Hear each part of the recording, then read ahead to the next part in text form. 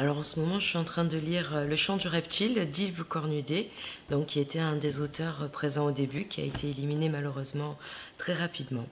Voilà, donc c'est un, roman euh, d'aventure, parce que moi j'aime bien les romans d'aventure, donc ésotérique et également initiatique.